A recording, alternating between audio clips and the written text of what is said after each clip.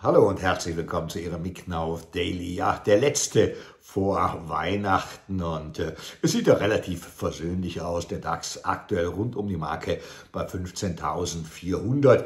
Ja, gestern haben wir uns ja dann doch wieder etwas erholt, nachdem es ja am Montag ordentlich nach unten gegangen ist. Aber gestern der TT, der Turnaround Tuesday. Ja, und heute liegen wir zumindest mit ein paar Pünktchen im Plus, so dass wir dann doch noch versöhnliche Weihnachten bekommen, muss man sagen. Ja, auch in den Vereinigten Staaten, trotz Corona, trotz Omikron-Variante der Dow Jones, gestern mit guten Vorgaben aus dem Markt rausgegangen. Der Dow mit einem Plus von 1,6 Prozent. Ja, und die Nasdaq sogar mit 2,4 Prozent. Das war die Vorgabenseite und die nimmt der DAX dann heute doch dankbar auf. Ja, wir haben zwar einen IFO-Geschäftsklimaindex, ja, der ist aber natürlich äußerst, äußerst schwach, muss man sagen. Ja, Lieferkettenprobleme, über die klagt natürlich vor allen Dingen der Einzelhandel. Da hören wir schon Lieferprobleme. Da klagen 81,6 Prozent der Einzelhändler drüber, dass halt eben die Ware nicht geliefert wird. Ja, ja, und jetzt sagt man natürlich auch, dass die Lebensmittel Branche sich langsam aber sicher natürlich auf die Omikron-Variante natürlich vorbereitet und vor allen Dingen natürlich die branche die sieht natürlich, dass man sich hier natürlich jetzt schon vorbereiten muss, dass wenn halt eben tatsächlich diese Welle vielleicht Anfang des Jahres auf uns zukommt, dann doch etwas tun muss. Und vor allen Dingen sieht man sich aber hier in der Logistikbranche soweit schon gut gerüstet. Das zumindest mal eine gute, eine positive Aussage. Hoffen wir halt eben, dass das Ganze nicht ganz so schlimm wird. Ja, Nachrichten haben wir natürlich momentan relativ wenig im Markt. Vor Weihnachten sind natürlich News rar gesät, aber wir hören zumindest mal von Delivery Hero. Das ist übrigens die stärkste Aktie aktuell im Leitindex im DAX, geht plus 6,7 Prozent momentan nach oben auf 98,48, dass sie ihren Lieferdienst in Deutschland schon wieder einstellen.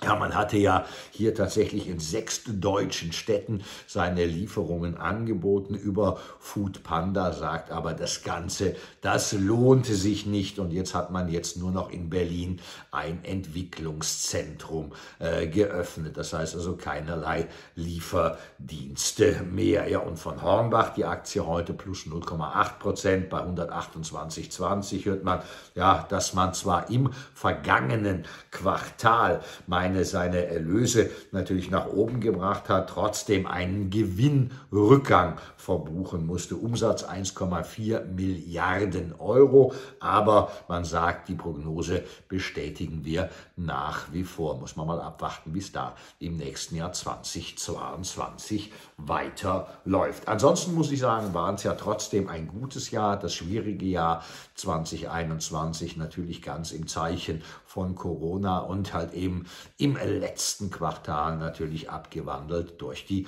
Omikron-Variante. Aber wie gesagt, die Bilanz fürs Jahr 2021 der DAX mit 12% Rendite und Performance, der MDAX mit 11%, der Eurostox 50 mit 16% und der Dow Jones immerhin auch mit 16%. Der Dow Jones Industrial wohl gemerkt. Also kann man nun nicht sagen, dass die Börse hier tatsächlich nochmal eingeknickt wäre. Nein, da hat man gute Renditechancen machen können. Also für Sie als Langfristanleger waren hier sämtliche Chancen und Möglichkeiten drin. Ob sich das im Jahr 2022 fortsetzt, ja, das kann man aktuell noch nicht sagen.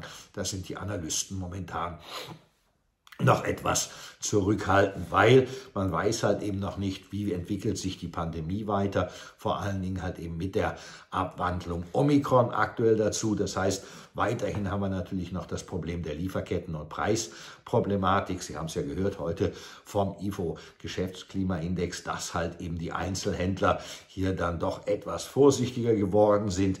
Dann haben wir natürlich die nachlassende Geldpolitik, vor allen Dingen in den Vereinigten Staaten. Wenn man da halt eben eben gerade jetzt ab Januar, Februar, März aus dem Tapering aussteigt und dann wahrscheinlich ab April mit den Zinsen wieder beginnt. Und wie gesagt, den Konflikt Russland und Ukraine, den dürfen wir natürlich auf der anderen Seite gar nicht ausblenden. Auch das haben wir natürlich im Jahr 2022 noch zu verarbeiten. Aber ich denke, auch diese Zeiten werden wir natürlich letztlich hinter uns bringen. Also von daher als Langfristanleger, wie gesagt, haben Sie mal überhaupt nichts verkehrt gemacht. Die Indizes sind gut gelaufen und ich denke auch, dass wir das Jahr 2022 natürlich meistern werden. In diesem Sinne darf ich mich jetzt von Ihnen verabschieden, wünsche Ihnen natürlich und der Familie ein frohes Weihnachtsfest. Kommen Sie bitte gut und vor allen Dingen natürlich gesund ins neue Jahr 2022. Dann werde ich Ihnen natürlich auch wieder zur Verfügung stehen mit meiner Wochenagenda